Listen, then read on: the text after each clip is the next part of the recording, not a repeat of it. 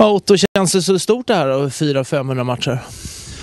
Ja, lite grann. Det börjar smyga sig på sådär. Jag har inte tänkt så mycket på det men eh, ja, det, det känns kul.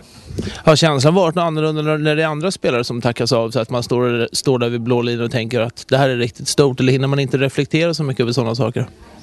Inte så mycket i samband med matchen men alltså, man tänker lite på att eh, när man inte spelar så eh, det är mycket 500 matcher i, i en och samma förening så att det, visst är det värt att fira och ja, man kan känna heder över också tycker jag.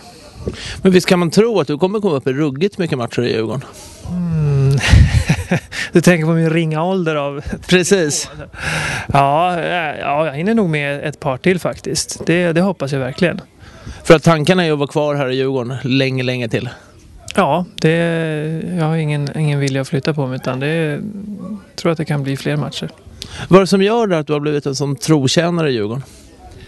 Jag trivs där jag är faktiskt och har ja, trygga tillvaron som finns med, bor i närheten, barnen går i skolan och, och min sambo jobbar här i närheten också så att ja, aldrig känt något, någon behov eller vilja av att flytta på mig utan jag trivs bra och då har det blivit att jag har stannat.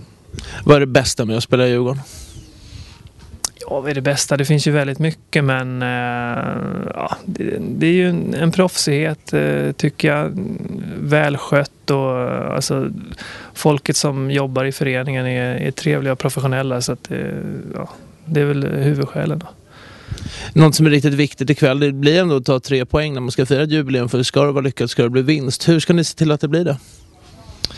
Ja, jag har pratat lite mer, alltså, lite mer hjärta, lite mer våga lite mer, offras lite mer. Eh, kan se hur Dick gjorde sitt mål förra gången då han bryter in på mål och det, det är lite det som krävs. Att, att vara beredd att våga lite, att, att få en smäll och att försöka dela ut en tackling men att, men att också vara beredd att, att misslyckas och att, och att vi andra är där och, och täcker upp för varandra. Så att det ja, lite, lite, lite, lite bättre och lite noggrannare med, med sådana saker och så kan det bli en stor skillnad.